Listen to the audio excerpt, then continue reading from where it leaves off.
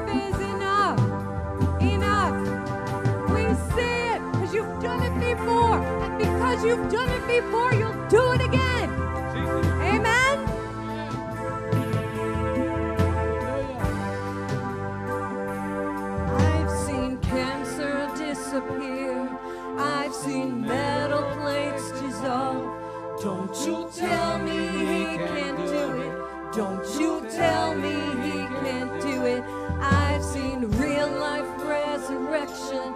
I've seen mental health restored. Don't you tell me he can't do it. Don't you tell me he can't do it.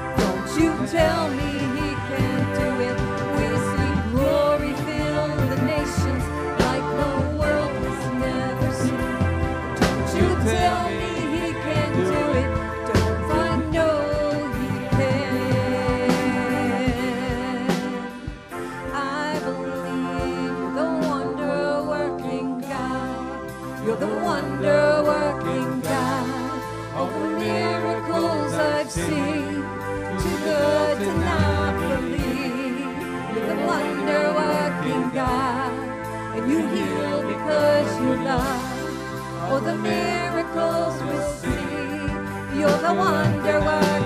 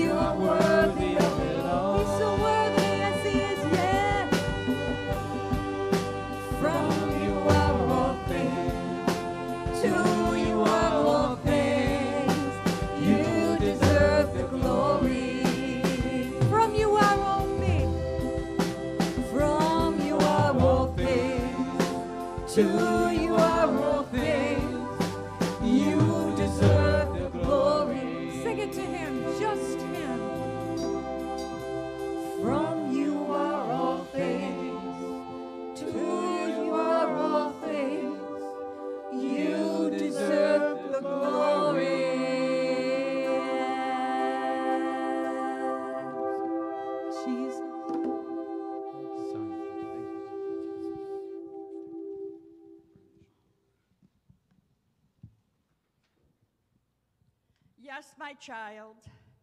I have told you I'm coming. I am coming in my glory.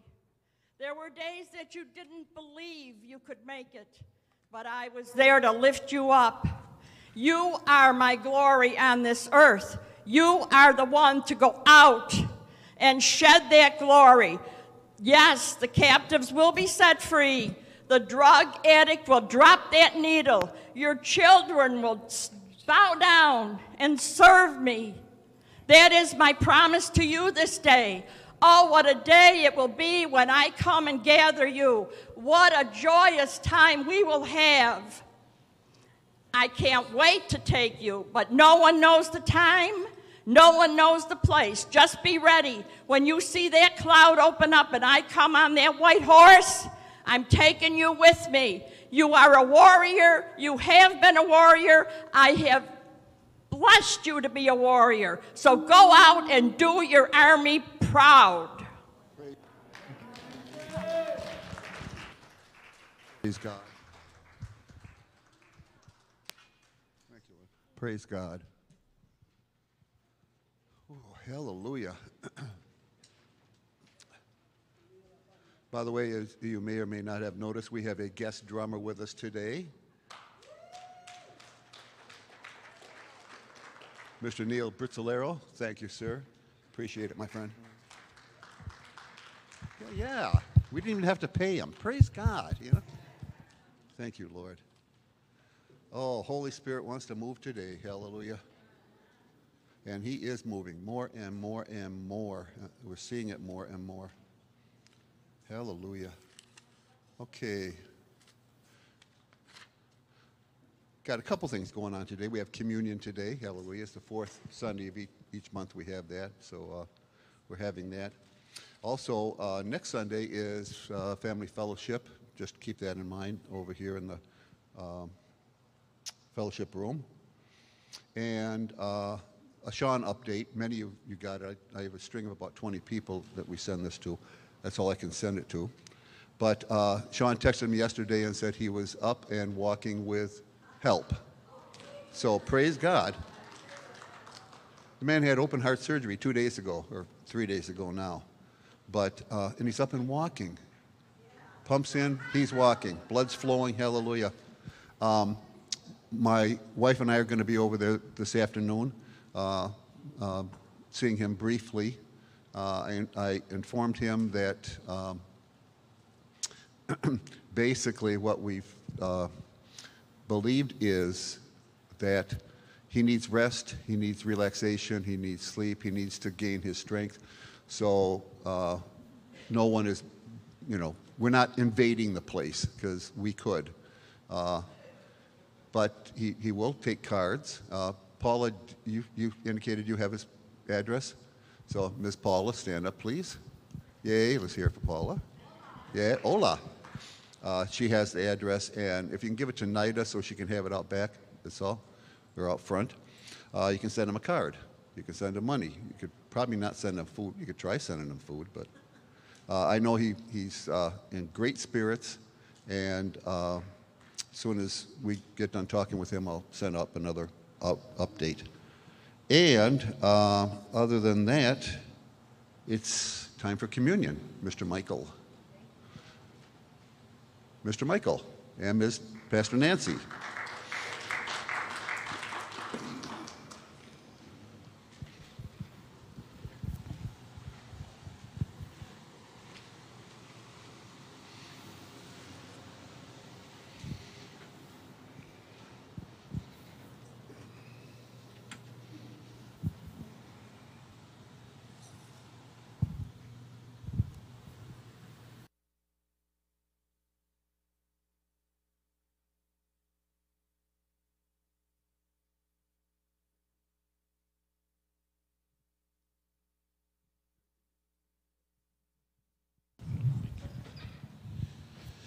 Morning.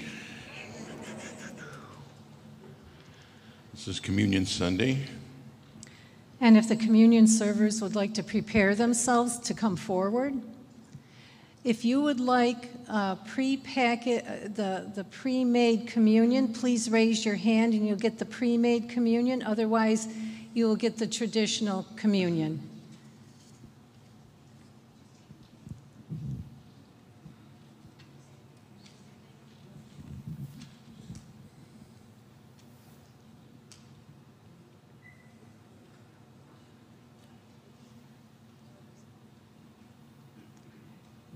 If you are live streaming and you would like to partake of communion as well at home, you could take uh, some bread or a cracker and some juice and join in with us. The one stipulation is that you made Jesus Christ your Lord and Savior.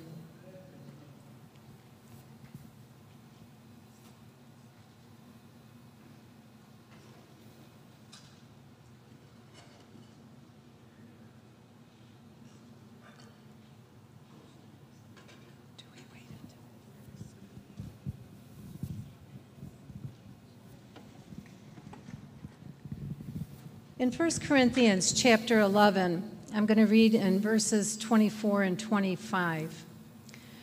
In verse 24, Jesus took the bread and he broke it, and he said, This is my body, which has been broken for you. Whenever you take this and eat this, do this in remembrance of me. Do this in remembrance of me. In verse 25, then after supper, he took the cup of the new covenant and said, This is the cup of the new covenant. In my blood, do this in remembrance of me whenever you partake of it. Do this in remembrance of me. What Jesus was saying, or what Paul was writing in regards to Jesus Christ, is do this in remembrance of me. Oftentimes, we think remembering has to do with recalling past events that no longer have a reality to it. But in the Jewish sense and in the Jewish liturgy and in their tradition, remembering is a whole different uh, meaning. It has a whole different meaning. In the Jewish sense, when you're asked to remember something, you're asked to become an active participant in the here and now, an active participant in an event that took place in the past but you're doing it in the here and now. So that active participation is so important. Let me give you an example.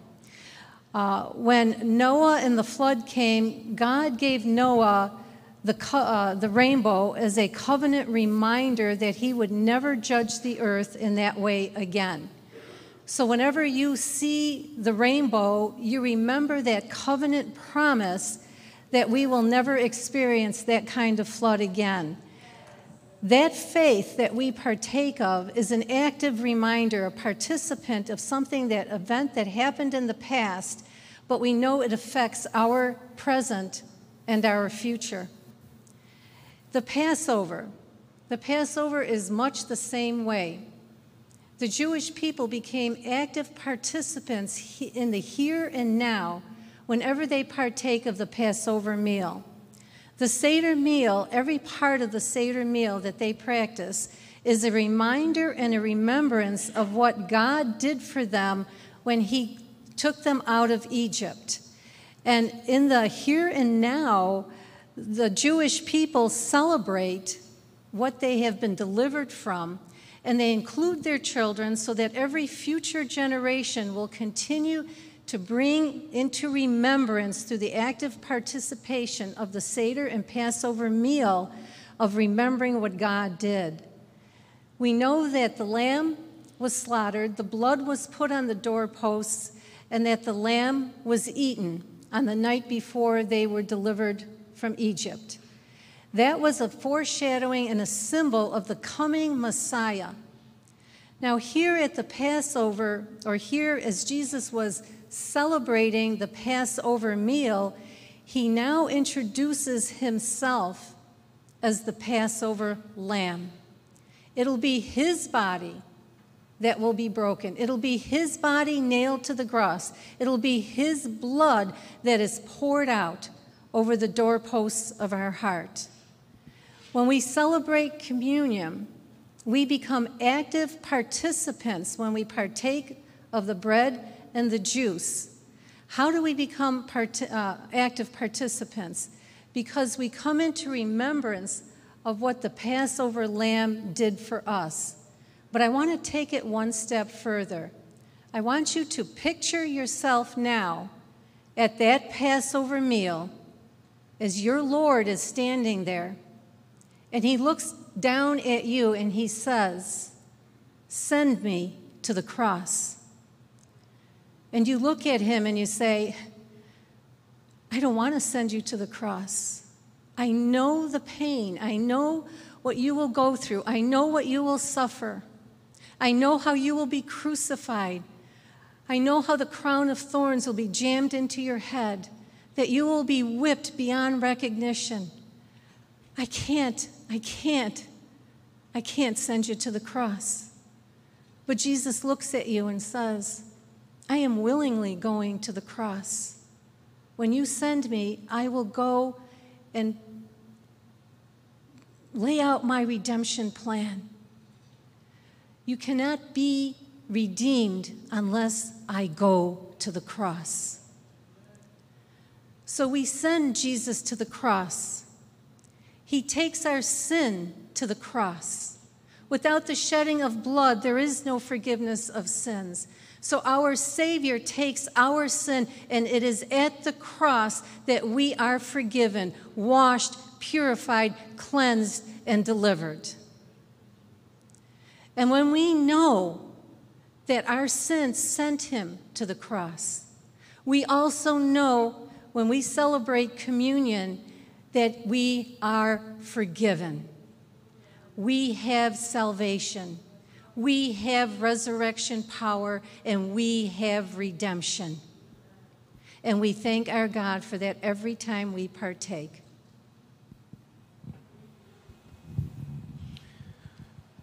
The Bible says in 2 Corinthians 5:21 that Jesus became sin for us that we might become the righteousness of God in him. And in Matthew it says that he bore our infirmities.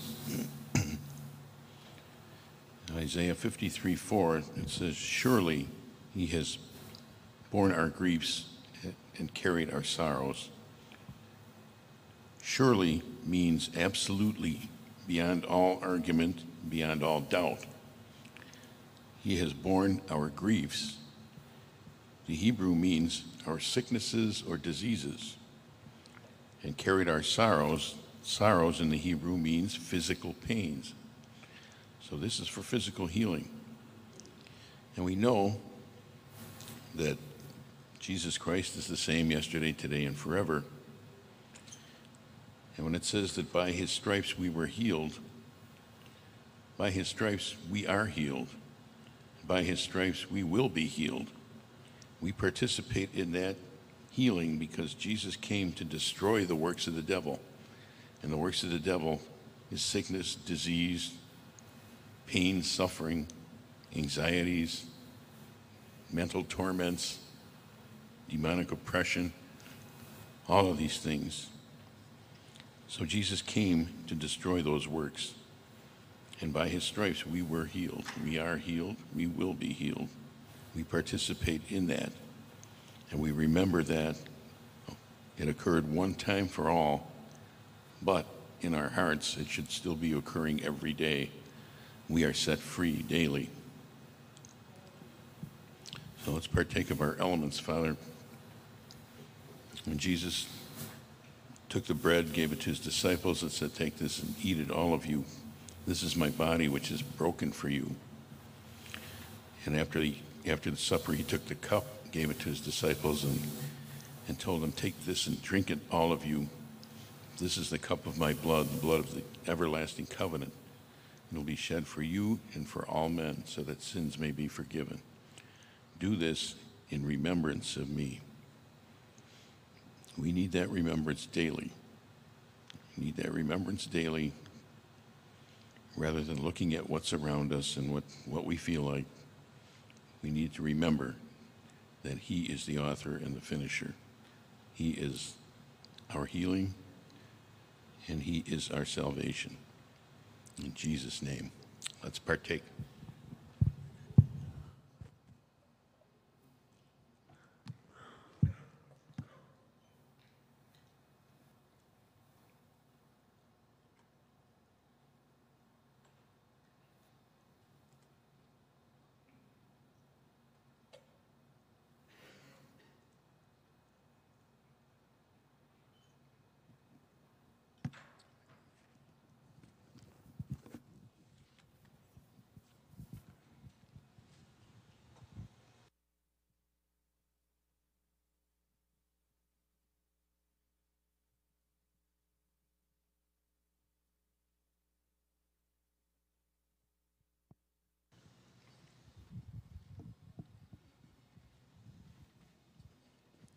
As we received the offering, we were singing a song, Worthy is the Lamb. Worthy, I got it there right, Paul? Worthy is the, you know, and um, when we were singing that, I couldn't help the book, thinking about it.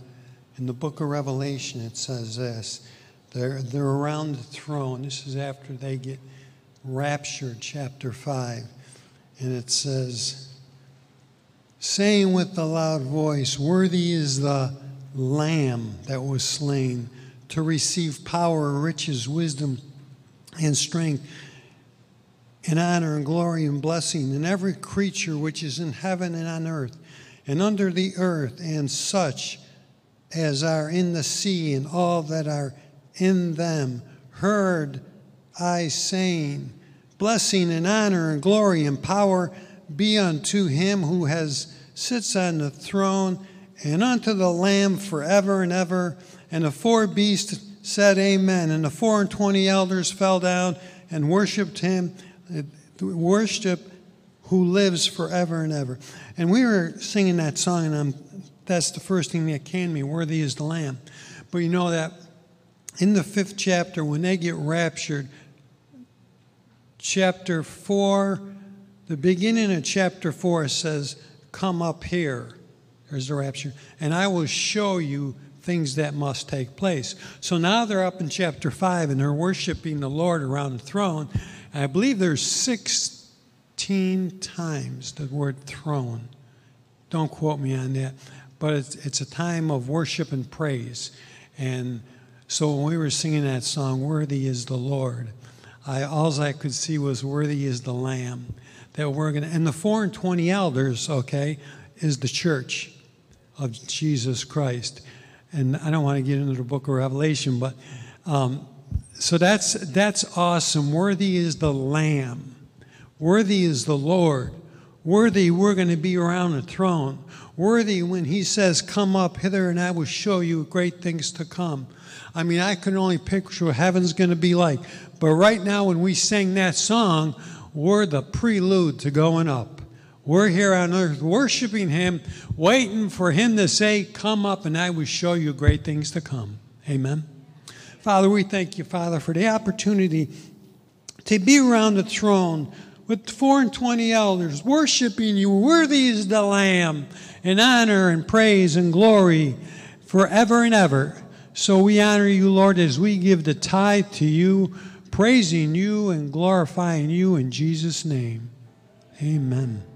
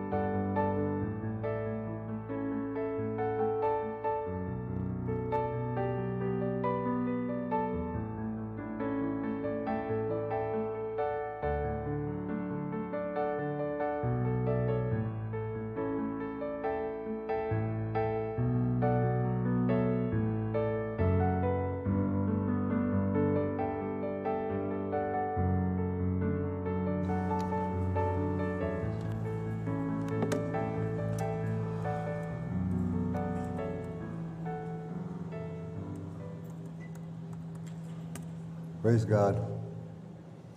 Good morning. Can everyone hear me? Hear me. Everyone?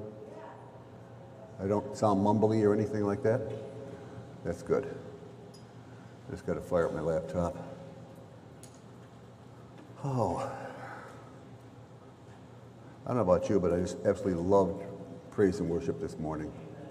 Um, Paula mentioned it. As soon as we started practicing, um, yeah, actually, I don't need it unless my computer conks out. So if it conks out, I'll give you the head. Yeah, I'll autograph it later. Uh, as soon as we started practicing it, practicing wasn't the. We usually go through the set, you know, uh, just to warm up. Uh, it wasn't pretty. The, the keyboard player just really had a problem at times. Hallelujah. But uh, the presence of God was here and still is here. And praise God, He continually follows us because He is in us. So, today, this is going to be a slightly different. Um, again, as, as everyone who does teach here, um, you know, we come before the Lord and just pray. Lord, what, what do you want said? What do you want delivered to your people? And there's a couple things floating around in my heart, and this just really just came to the surface. Um, The title is Knowing God. Sounds very simple, doesn't it? Knowing God. But if you start dwelling down in it a little bit, there's a lot of questions that come up.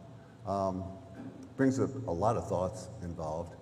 Um, what does it mean to know God? Can we even begin to know God? Can we even begin to know God? How do we get to know God? Is it even scriptural to know God? Does God even want us to know Him? Is everyone hearing that buzz? Okay. Rich, let me know when you want me to go to the handheld. Okay. Um, there's a myriad of questions that come up, but what the Holy Spirit wants us to discuss today is knowing God. And, okay, Rich, uh, if you want me to go to the handheld? Yes. Was that a yes or a no? Yes. Okay. Don't you love technology? I really do. Praise God. Yes. Louder? Is this okay? Thank you. If you can't hear me, just throw something. I'll try to catch it up. So, knowing God. A lot of questions. Let's start with the first question Does God even want us to know Him? Thank you. Ms. Joni gets the prize. Unequivocally, resounding yes. God wants us to know Him. Uh, John uh, 17:3 says it very clearly. Um, this is from HCSB, uh, a new translation that, uh, not a new translation, but new to me, uh, but it's, it's pretty good. John 17:3 says, "This is eternal life, that they may know you." This is Jesus' prayer before he leaves the planet. This is his prayer to his Father. This is eternal life, that they may know you, the only true God, and the one you have sent, Jesus Christ. We just participated in communion. Churches have communion across this nation, but do we really know what He wants in terms of communion? And we will get to that. I believe that communion with his children is one of the deepest desires of God's heart. Some see it as some see God as this supreme being that barely puts up with, with mankind, with humankind. And God is, is so far away from us most of the time. He doesn't really want to come near us at all. Uh, a God, he's a God that usually doesn't want anything to do with us, and a God that is quick to discipline when we step out of line. That's what some people, that's how some people see our Father. And I really feel sorry for people like that. They're into legalism, and legalism kills. It really does, at least spiritually. Let's look at John 17, 3 again. Jesus told us, This is eternal life, that you, that they may know you. God doesn't look at us like some sort of parasite that he puts up with. God loves us with a, a love so deep, I doubt we could even come close to understanding it. He's a God that always, that always, that always and forever will love us. And a God that made himself flesh, came among us, taught us, and gave his life for our salvation. However, I need to make something clear. And the Holy Spirit has shown me a lot in, in putting this together. I used a number of uh, resources. One is this our salvation isn't a possession, we don't possess our salvation. It's not something we just have. Our salvation is a relationship, it's a relationship that God has made with us. And eternal life is not simply living forever, it is growing in the knowledge and love of God. Which brings us to the word know. K N O W, know. What does it mean when we say to know God? As many of us realize, and I say this all the time because we stream live and someone might not know it, many of us realize that all the English versions of the Bible are translations of different languages. The Old Testament was originally written primarily in Hebrew with some Aramaic. The New Testament was written originally in Greek and all the English versions of the Bible are translations of these languages. In the New Testament, there's a number of Greek words that translate into the English as know, knowing, knew. However, the Greek word translated as know in John 17:3 is a very special word. The Greek word translated know is ginosko. Uh, the English transliteration is G I N O S K O, ginosko. Very important. Gnosko doesn't refer to the simple, casual knowing of an acquaintance, like, I know Pastor Frank, yeah. I know Sammy. I, I know Michelle. Uh, I know a lot of you. Doesn't, that's not gnosko. It, nor does it refer to knowing in fact, like, hey, I know the United States is composed of 50 states. That's not gnosko. Gnosko means knowing by being part of an intimate, growing relationship. It is not some fact we memorize, but the kind of knowing that is gained through experience and through intimacy, through relationship. I can say I gnosko my wife. We've been married 26 years, going on 27. Hey, I got that. Praise God. Yes. In 27 years, we have had relationship. We have had communion together. And each day we gnosko each other more and more. And that is was the prayer of Jesus that we gnosko God. We know him through an intimate relation. And this is the type of relationship God wants us to have with the Godhead, with Father, Son, and Holy Spirit. He wants us to have a deep, intimate love relationship with him, which grows sweeter throughout time and eternity. So, how do we approach this? How do we become closer and closer to God? How do we get to know God intimately? One answer to that question is found in one word prayer. And that's where we're going today prayer. And I'm going to be redefining in your mind prayer. This might sound kind of strange to some people, but I'm, I'm going to expound on it. I'm going to flesh it out. To some people, prayer is nothing more than going to God and asking for things. And yeah, that, that is part of prayer. But it is not a complete definition of prayer.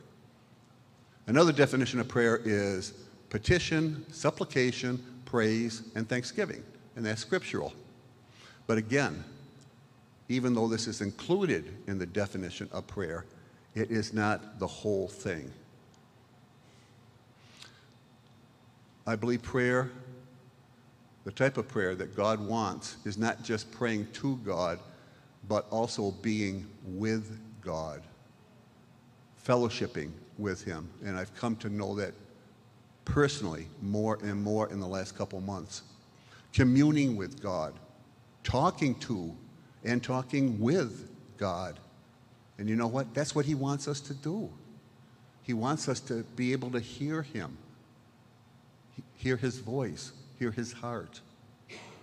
I believe that until we move beyond our limited perceptions of prayer, such as petition, supplication, praise, and thanksgiving, we will never come to the deep, loving relationship for which we were created. And a deep, loving relationship wants us to have with Him the deep, loving relationship that God wants us to have with Him. Don't misunderstand me, please. Those aspects of prayer, petition, supplication, praise, and thanksgiving, are important. But if they do not flow out of gnosko, not flow out of knowing God intimately, they are in danger of becoming mere religious activities. Let me ask you this Do we realize that God longs for us?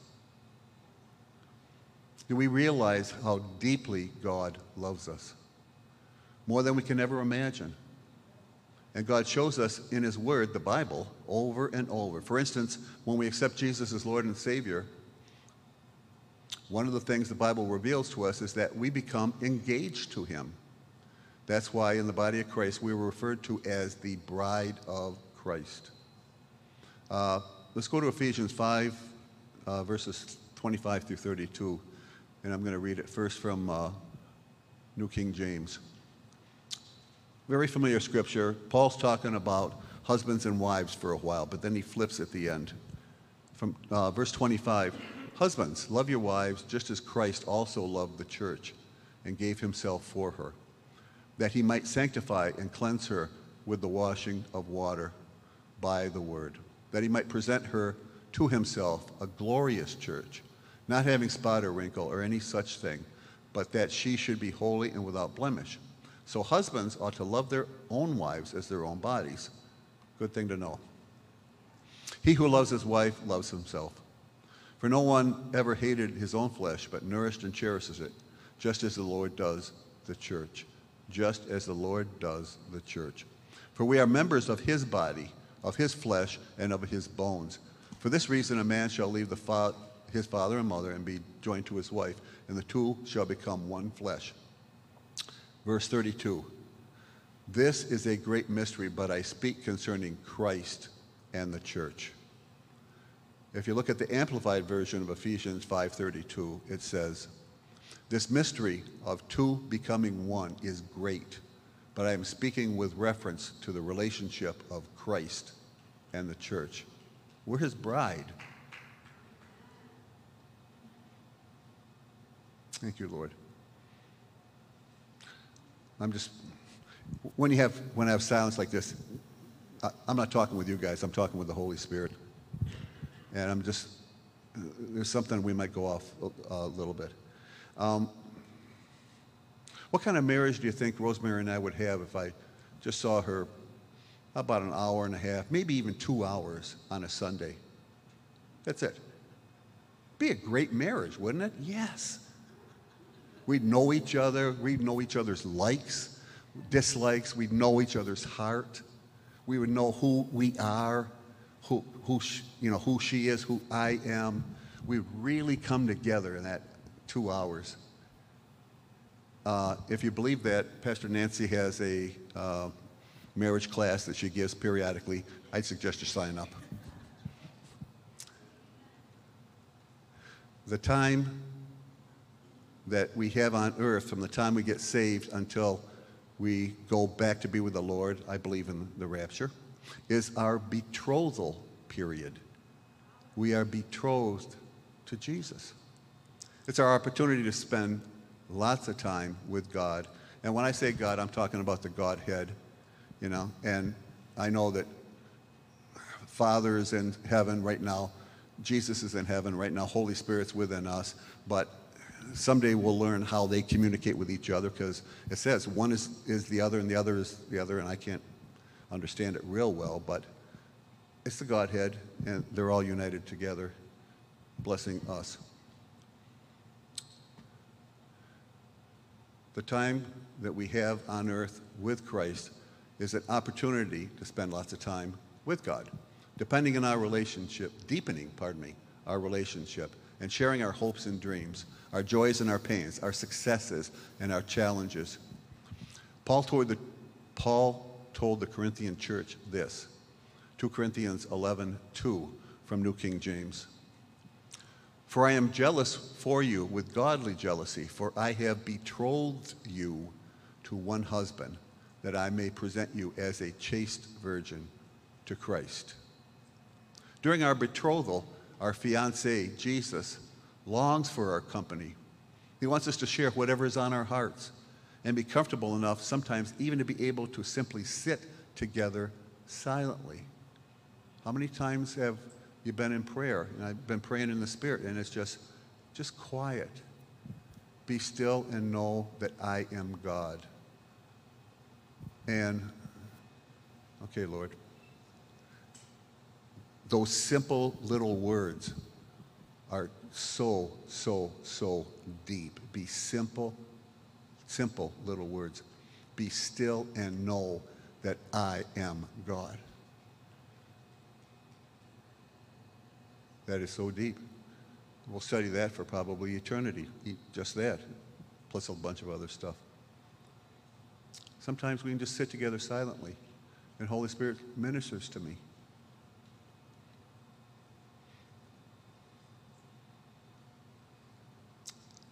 Okay. The other day I was driving, and actually I can tell you the intersection I was at.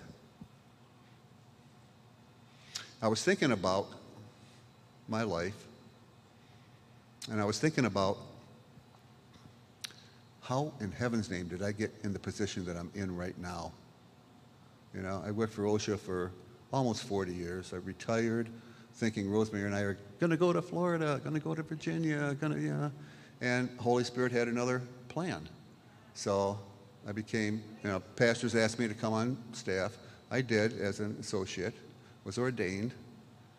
And then, as we know, uh, we transitioned from uh, Pastor Dom and then, or Pastor Dom and Lucy to Pastor Dom, and then transitioned from Pastor Lucy to myself. Thank you, Pastor Lucy. Praise God. Yeah, amen. Give her a hand.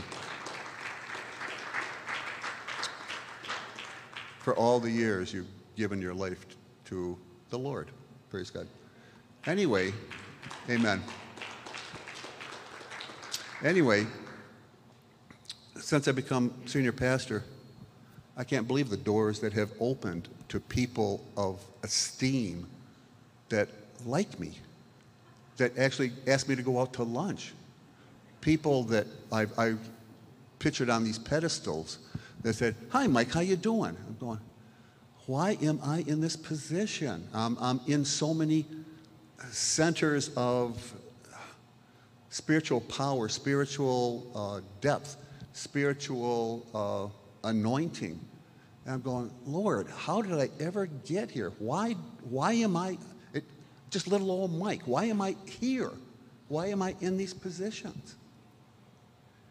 Then I shut my mouth, put the, my foot on the brake, stop sign, and Holy Spirit responded back to me.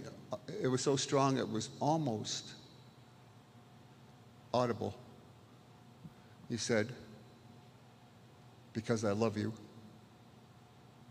Simple little thing, because I love you. That's our Heavenly Father, because He loves us. He wants the best for us. And part of that is knowing Him, knowing He wants the best for us, knowing that He loves us. But it goes so far beyond that, knowing what He wants us to do in every situation and circumstance, and spending time with Him. So, back to our betray- betrothal. He wants us to hear His voice in everything He says to us. We are, his, we are precious to Him. We are a treasure He holds dear to His heart. And He wants us to share our life with Him. This is the God that some other religions have painted, or some other denominations have painted this entity someplace way out there that really can't stand us, and you're just lucky to be breathing because he'll probably snuff you out someday. No, no. Our Heavenly Father, our Savior, our wisdom, our knowledge, wants us to be so part of our lives. When Jesus looked upon Jerusalem, the city he loved so much, he was hurt by the people's rejections, but he still loved them without measure. He cried out, and it's uh, recorded in Luke 13 34 from New King James. Oh, Jerusalem, Jerusalem,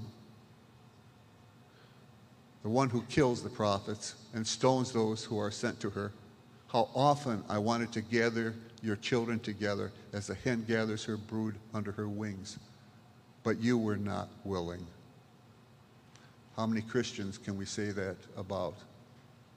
Me first at times in the past, but I was not willing.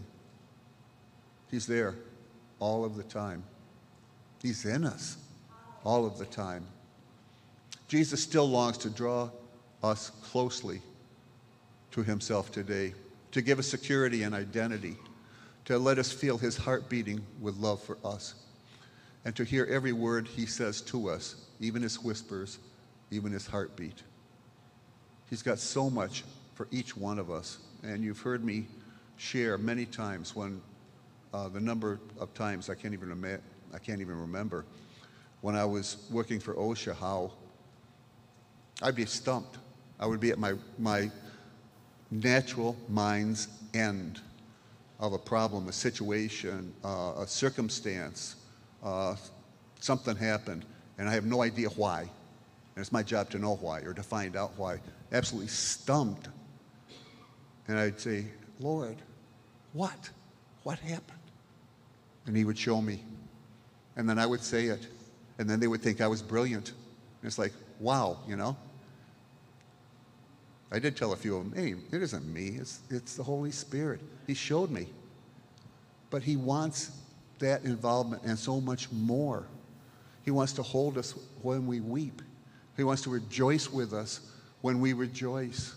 He wants to direct us to the perfect path for us. He wants us to know His heart.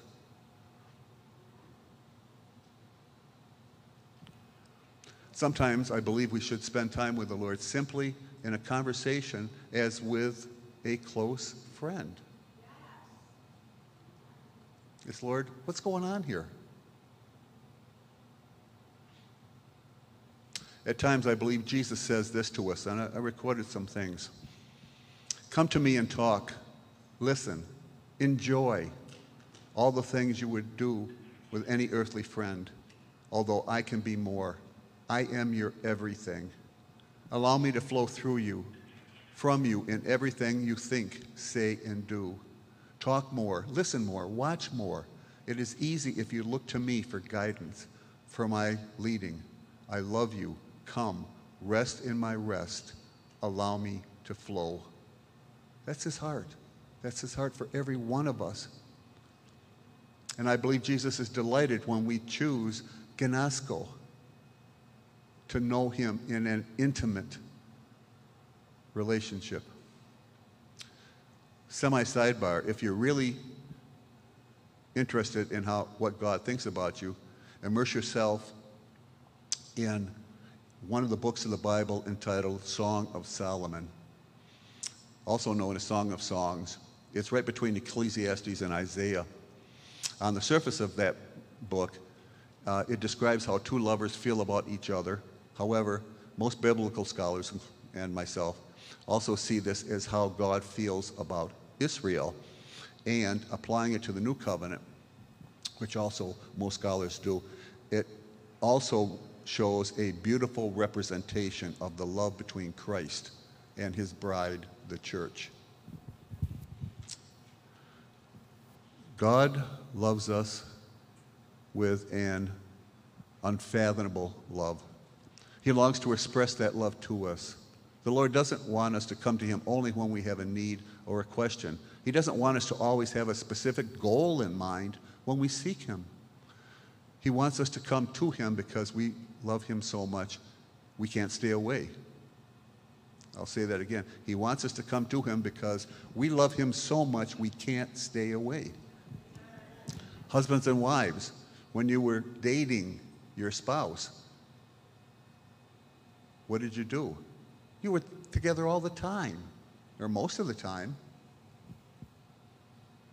Hopefully it wasn't, well, I'll see you Sunday at 10 o'clock. But by 12, I got to be out of here. Of course not.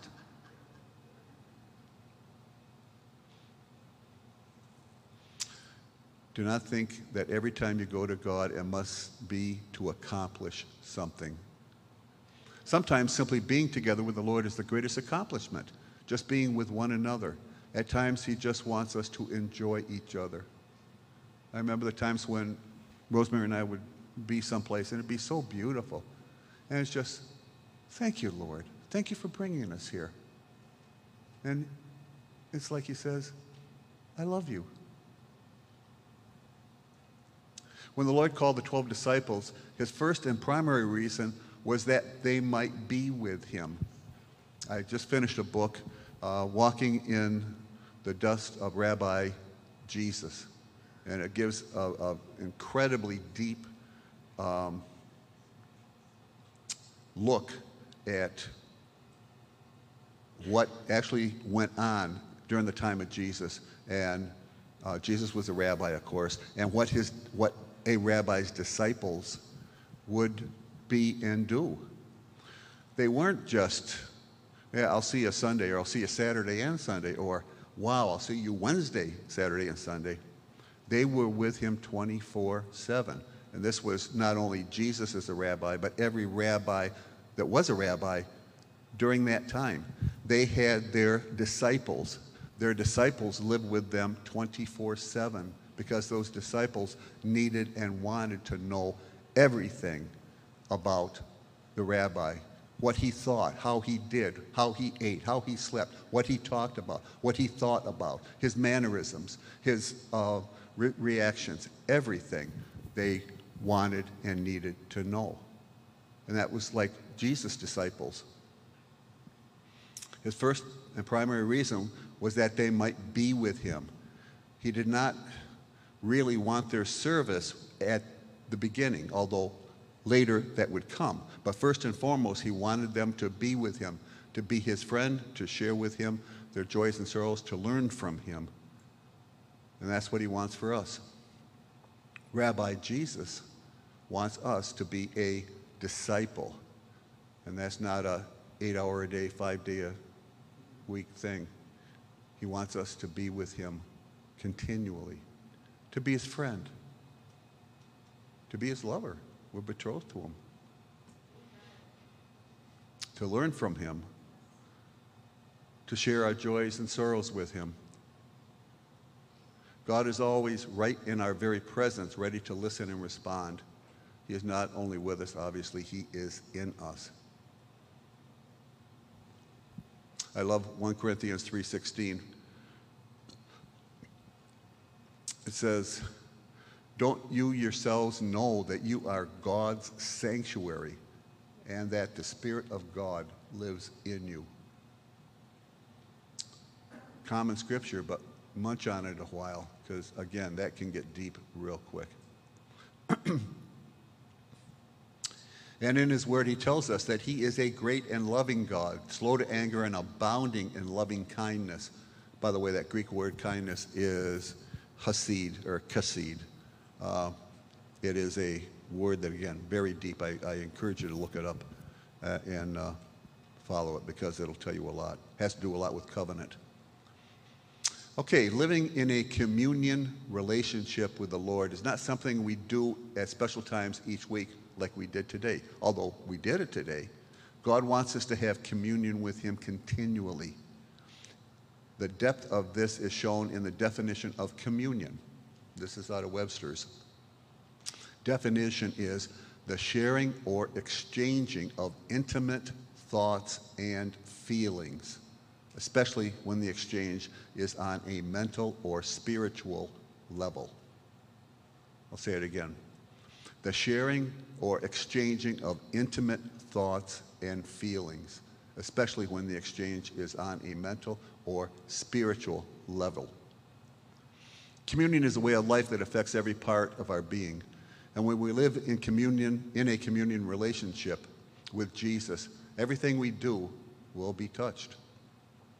Worship will take on a whole new meaning when we begin, begin to see it as part of our total experience of communion with the one we love. So, what's the end, end thing of this whole discussion? How many realize that our lives are full of decisions? Every day we have myriads of decisions we have to make, some very inconsequential, some very important, and everything in between. Everything we do and say involves a choice, a decision. God wants to make those decisions with us. By way of the Holy Spirit, the Spirit of Christ is he's called also, that lives in us if we're born again. God wants us to turn to him before we make choices, before we say things, before we act. And boy, I need to learn that because sometimes mouth works before brain works. Trust me, that's not a good thing. I got to learn. Brain works first, then mouth might work. May or may not be appropriate. God wants us to turn to Him before we make choices, before we say things, before we act. And when we have a strong communion relationship with God, doing what He desires is, a nat- is natural as breathing. He wants us to have spiritual awareness, an awareness that He lives inside us, that He is wise and loving and wants to guide us, to love us, to fellowship with us, to be our God and to be our friend, to be our betrothed, and so much more. So I encourage you, take some time. Um, what I do now is just quiet myself at times, try to get everything out of my mind. I do that sometimes by music. Sometimes I just pray in the Spirit for a little bit. Works wonderful. And I just say, Lord, what, what would you like to talk about? And it's amazing what comes into your heart. Some things are from me, some things might be from the world, but a lot of things are from God. Write them down. I become an avid journalist these days. Write them down, and if you question them, just test them. How? By the Word. Not sure? Go to someone that you trust, that you know is spiritually mature, and have them pray about it as well. But I know for a fact time is short. I think most Christians that are in the know know that. Time is short. There's a lot that needs to be done. And he needs his army understanding him. He needs his army to hear his voice. He needs his army to align their hearts with him. And he needs his army to commune with him. Not only receiving orders, but receiving the heart, the love, and everything else brought into it. So I encourage you, just open up your heart and just say, Lord, whatever you want. And I'm positive you will be amazed. Amen? Father, I thank you. I praise you. I bless your holy name. We bless your holy name, Lord. We thank you, Lord, for so much, so much, so much, Lord, that you do for us, that we don't even realize so much that you love, so much that you give, so much that you help. We praise you for it. And help us, Lord, just to more and more and more and more just to commune with you. Just spend intimate time with you, telling you how much we love you and how much you love us. I thank you for that, Father. In Jesus' name. Everyone said, Amen.